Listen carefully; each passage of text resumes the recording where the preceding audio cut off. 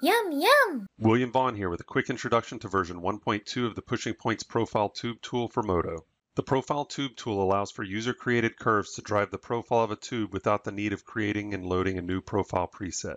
Version 1.2 introduces three options for using the tool. The workflow for the first option is simple. Create either a Modo or Bezier curve in the z-axis, select it, and activate the tool using the pre-mapped shortcut key of Alt-K. Left-click and create a tube using the profile you defined. Right-click to adjust the radius of the tube. The workflow for the second option is equally as simple. Create either a Modo or Bezier curve in the z-axis, followed by a second curve. It's important to note that the second curve needs to be a Modo curve. Select the first curve followed by the second curve. Selection order is important as the first curve selected will become the profile and the second curve will become the tube. Activate the tool using the pre-mapped shortcut key of Alt-K. This time right-click and drag to create the tube. Although the tube is based on your second curve, the tube is still active and can be edited to your liking.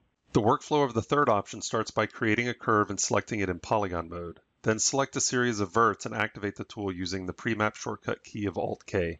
Right-click and drag to create a tube. Just like before, the tube is still active and can be edited to your liking. Oh, look at the time.